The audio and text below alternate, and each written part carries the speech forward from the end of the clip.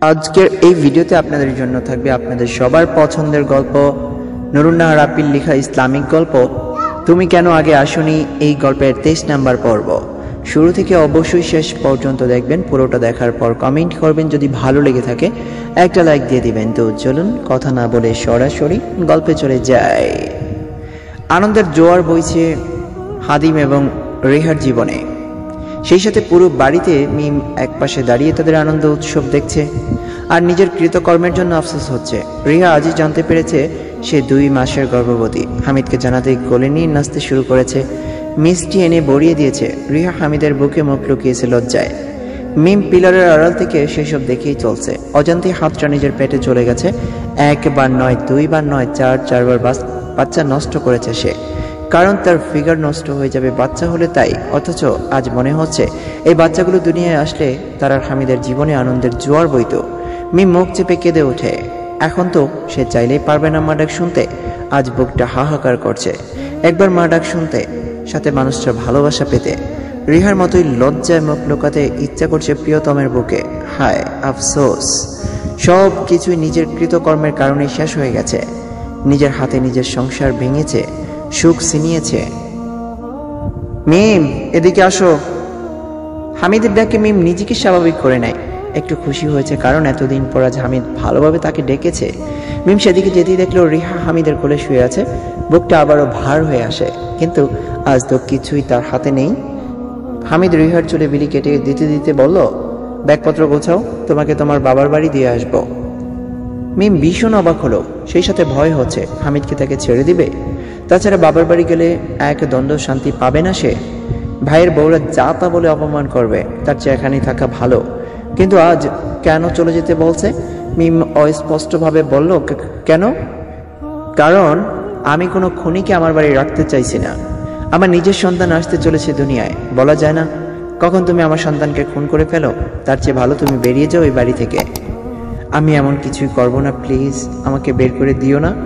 চারটা সন্তানকে খুন করেছ তুমি। সাথে আমার বোনের সন্তানকেও খুন করেছ। একটুও খারাপ লাগে না তোমার? অনুতপ্ত হও তুমি। ছি, কীভাবে পারলে নিজের সন্তানদের খুন করতে? কেমন নারী তুমি? হামিদ জানতো না এইসব। মিম তার বাচ্চাদের খুন করেছে সেটা রিহার কাছ থেকে শুনেছে। রিহাই একদিন কাগজপত্র ঘাটাঘাটি করার সময় মিমের মেডিকেল রিপোর্টগুলো পেয়েছিল।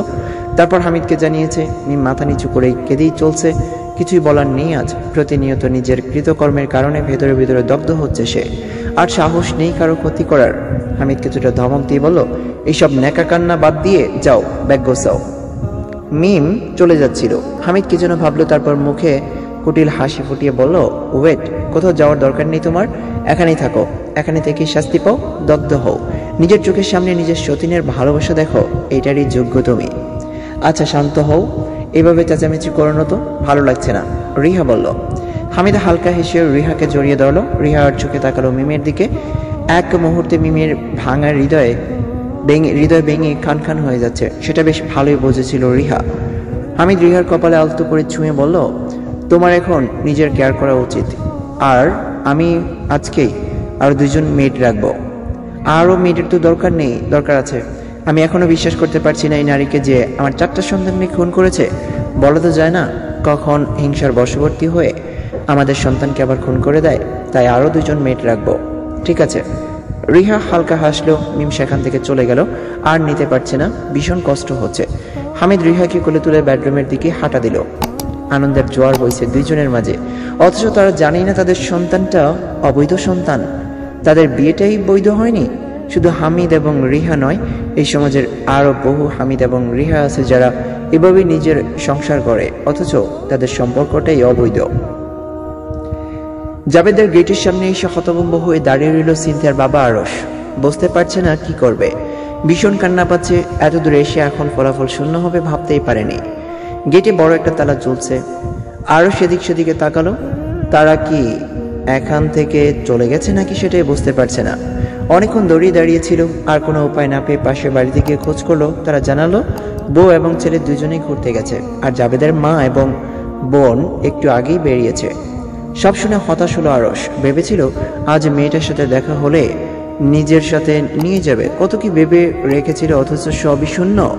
ওদিকে আসমা নিশ্চয়ই আশা নিয়ে বসে আছে, যখন বলবে, মেয়েটাকে পায়নি, হয়তো আবারও কান্না শুরু করবে। কেঁদে কেঁদে নিজের অবস্থা আরও খারাপ করে ফেলছে আসমা। মেয়ের সুখে শরীর দিন দিন আরও খারাপ হয়ে এসেছে। আরস নিজে যে কষ্ট পাচ্ছে না তা নয়, সে নিজেও কষ্ট পাচ্ছে। একমাত্র মেয়েকে বিনা কারণে কত মারধর করেছে, সেসব মনে পড়লে বুকের ভিতর চিনচিন ব্যথা শুরু হয়। আজও হতাশ হয়ে ফিরতে হলো বাড়িতে। গতকাল সারা রাত বৃষ্টি হয়েছে, যার কারণে ভোরের হাওয়াটা একেবারেই স্নিগ্ধ লাগছে সিনথিয়ার কাছে। একেবারে রেডি হয়ে বারান্দায় এসে দাঁড়িয়েছে দাঁড়িয়েছিল সিনথিয়া জাবেদের ডাকে ফিরে তাকায়। আজকে তারা যাবে হলিপেট সিনথিয়া খুব বেশি এক্সাইটেড হয়ে আছে, কারণ গতকাল বৃষ্টি হয়ে আকাশে এত এত মেঘ জমেছে যে মনে হচ্ছে সব মেঘ তাদের বারান্দায় নেমে এসেছে। না জানি সেখানে কেমন অবস্থায় আছে মেঘগুলো। জাবেদকে জাবেদের ডাকে দৌড়ে রুম থেকে বেরিয়ে গেল। জাবেদ ব্রুকুজকে সিনথিয়ার দিকে তাকিয়ে আছে। সিনথিয়া দুই পায়ে লাফিয়ে তাগাদা দিয়ে বলল উফ, আসুন না, দাঁড়িয়ে আছেন কেন? দেরি হচ্ছে আমাদের। বাহ, আমার বউটার উন্নতি হচ্ছে। তাড়াতাড়ি আসুন। কিছুটা চেঁচিয়ে চোখ রাঙিয়ে বলল, সিনথিয়া, জাবেদের ব্যাবলাকান্ত হাসি থেকে রাগ হলো মনে হচ্ছে লোকটা ইচ্ছে করে দেরি করছে।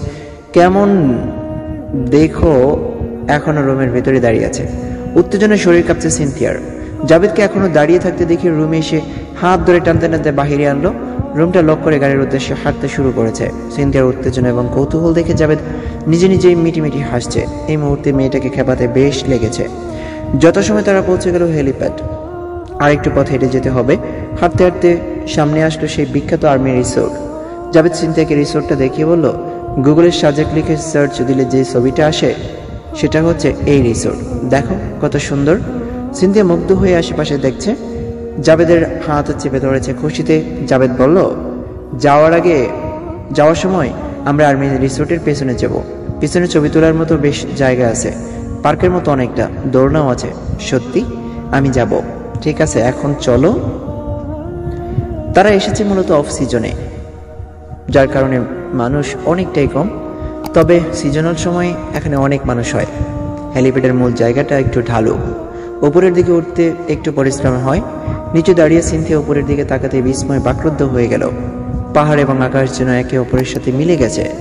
এতদিন বারান্দায় দাঁড়িয়ে দূর থেকে দেখতো। আজ এতটা কাছ থেকে দেখে সিনথিয়া কথা বলার খেই হারিয়ে ফেলেছে। জাবেদ হাত থেকে দেখল সিনথিয়া দাঁড়িয়ে আছে শক্ত হয়ে। জাবেদ ব্রোকোজকে তাকালো। সিনথিয়ার অভিব্যক্তি দেখে মুচকি হাসলো। জোর করে সিনথিকে টেনে নিয়ে হাঁটতে শুরু করেছে। উপরে এসে দাঁড়াতেই বাতাসের দেবের শরীর, মন, প্রাণ যেন জড়িয়ে গেল। পুরো জায়গাটা একবার চক্কর দিয়ে তারা সবাই পূর্ব দিকে এসে দাঁড়িয়েছে। এদিকের ভিউটা অসাধারণ। জাবেদ সিনথিয়া দুজনের সবার দিকে দূরে দাঁড়িয়েছে। সিনথিয়া নিকাপ দূরে দাঁড়াল। জাবেদ সামনে তাকিয়ে সিনথিয়ার থেকে কিছুটা সরে পাশে এসে দাঁড়াল। সাদা তুলার মতো একখণ্ড মেঘ যখন সিনথিয়াকে ছুঁয়ে দিল, ছুঁয়ে দিয়ে গেল, সেই মুহূর্তে সিনথিয়া একেবারে স্থির হয়ে গেল। নড়চড় করতে না পারা একটা পুতুলের মতো। অনেকক্ষণ যাবৎ কিছুই বলতে পারল না। না পারল নড়তে বিস্ময় এবং অত্যাধিক খুশির কারণে চোখ থেকে পানি গড়িয়ে পড়ল। জাবেদ পাশে দাঁড়িয়েছিল ঠোঁটে ছিল অপূর্ব এক হাসি। সিনথিয়ার মুখে এই অভিব্যক্তি দেখার জন্যই এত আয়োজন, যা আজ পূরণ হলো। অনেকক্ষণ পর সিনথিয়া স্বাভাবিক হলো, নড়ে চড়ে তাকালো জাবেদের দিকে। জাবেদ ওর দিকেই মুগ্ধ নয়নে তাকিয়েছিল সিনথিয়া লজ্জা পেল। অদ্ভুত, না? সায়ান সেদিন ওকে বাবা মায়ের পায়ের কাছে ফেলে চলে গিয়েছিল, সেদিন কি মারটাই না খেয়েছিল। এরপরে একদিন আনমনে বসে ভেবেছিল নিজের স্বপ্নের কথা, তার প্রিয় মানুষটা। এভাবে তার মুখের অভিব্যক্তি দেখবে মুগ্ধ নয়নে। তখন সেসব অকল্পনীয় লাগতো। অথচ আজ আজ সব ইচ্ছে পূরণ হয়ে গেছে। সিনথিয়ার লাজুক নয়নে আবারও তাকালো জাবেদের দিকে। এখন তাকিয়েছে মুগ্ধ চোখে সিনথিয়ার দিকেই। সিনথিয়া হেঁটে এসে জাবেদের পাশে দাঁড়াল, লাজুকতা নিয়ে বলল এইভাবে তাকিয়ে কি দেখছেন? তোমার ঘন পল্লব বিশিষ্ট আখির প্রেমের মতো, প্রেমে পড়ার মতো। কত শতবার যে প্রেমে পড়েছি জানা নেই।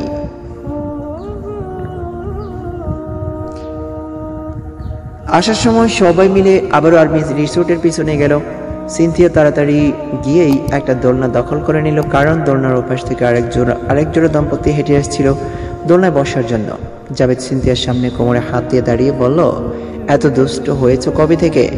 কিসের দুষ্ট, হুম? যদি আমি এভাবে না বসতাম তো আজকে সারাদিন দাঁড়িয়ে থাকলেও একটুও সুযোগ পেতাম না দোলনায় বসার। এত ভদ্রতা দেখে লাভ নেই, বুঝেছেন?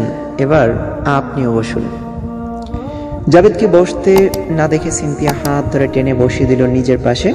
কাঁধে মাথা রেখে ক্লান্ত একটা নিঃশ্বাস ফেলল। কিছু একটা মনে পড়তেই সিনথিয়া জাবেদের বাহু দু হাতে চেপে ধরে বলল, এই আমার একটা দোলনার ভিডিও করে দিন। মানে কীরকম করে? স্লো মোশনে একটা ভিডিও করুন আমার পেছন থেকে প্লিজ দেখুন এখানে বাতাস আছে। অনেক জোস হবে ভিডিওটা প্লিজ যান না। তোমার হঠাৎ এইভাবে ভিডিও বানানোর ইচ্ছে কবে থেকে জাগলো? এখনই জেগেছে। জানতো শুধু দেরি করেন আপনি। তো ফ্রেন্ডস আজকের গল্পের পর্ব এতটুকুই ছিল। কেমন লেগেছে তা জানিয়ে কমেন্ট করবেন। আর যদি ভালো লেগে থাকে, একটা লাইক দিতে ভুলবেন না। সবসময় ফারুক স্টাডির সাথে অনেক অনেক ভালো থাকবেন, সুস্থ থাকবেন। সেই কামনায় আল্লাহ হাফেজ। Bye bye tata.